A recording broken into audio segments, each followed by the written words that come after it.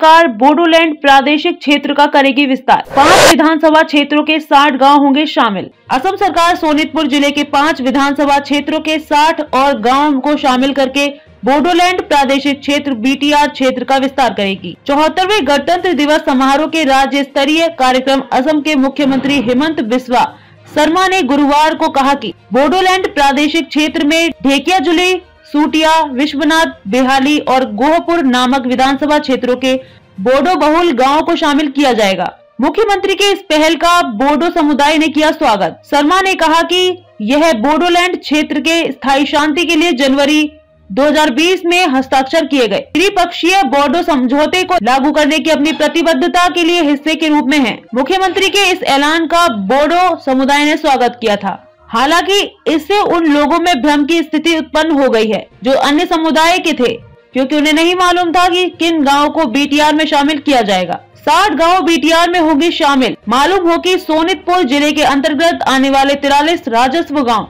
और सत्रह F R C गाँव सहित कुल साठ गाँव को बीटीआर में शामिल किया जाएगा। मुख्यमंत्री शर्मा ने यह भी घोषणा की। मुख्यमंत्री शर्मा ने यह भी घोषणा की कि बोडो लोगों के लिए अपने प्राणों की आहुति देने वाले 2001 के शहीदों को पाँच लाख रुपए की अनुग्रह राशि दी जाएगी। बीटीआर में चार जिला शामिल। बोडोलैंड टेरिटोरियल रीजन के मुख्य कार्यकारी सदस्य प्रमोद बोरो ने असम के मुख्यमंत्री द्वारा की गई घोषणा का स्वागत किया है। उन्होंने कहा है कि इससे बीटीआर में एक स्थायी शांतिपूर्ण वातावरण बनाने में मदद करेगा। बीटीआर में वर्तमान में कोकराझार, बक्सा, चिरांग और उदलगुरी सहित कुल चार ज़िले शामिल हैं।